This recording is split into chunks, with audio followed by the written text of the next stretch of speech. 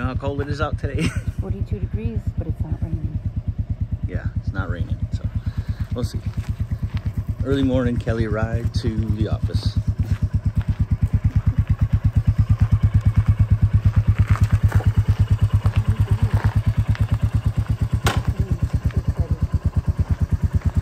All right, cheers, coffee. Oh, let me fix that GoPro just a little. It's gonna angle us down, and then you're good. Let's see. All right, I love you. See.